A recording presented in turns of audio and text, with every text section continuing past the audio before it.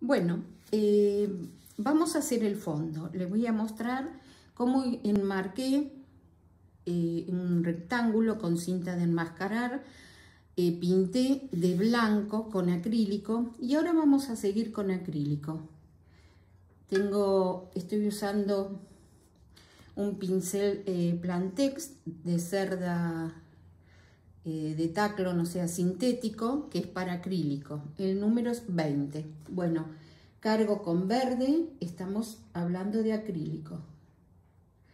Bastante cantidad y empiezo de este lado a hacer como un criss-cross. Ahora,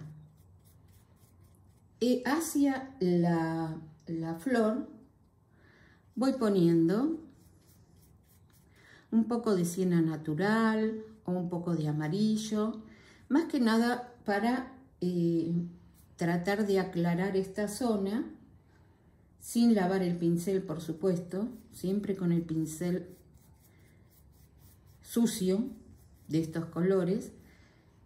Le, levanto la presión, hago como un mop, sigo, cargo bien. Esta zona también veo que está en el terminado que está oscuro, no uso negro, y voy poniendo, levanto la presión y voy en todas direcciones.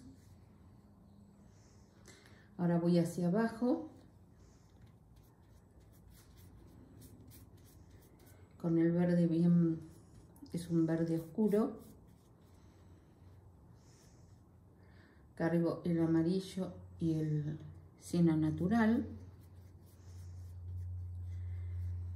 El pasaje entre los dos tonos tiene que ser muy suave.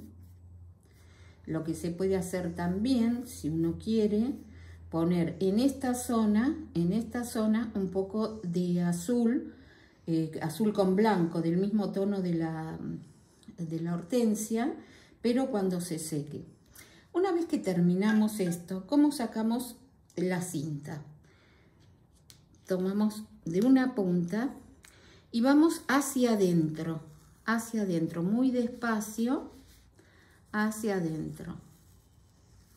Así nos queda perfecto. Y tenemos el marco hecho.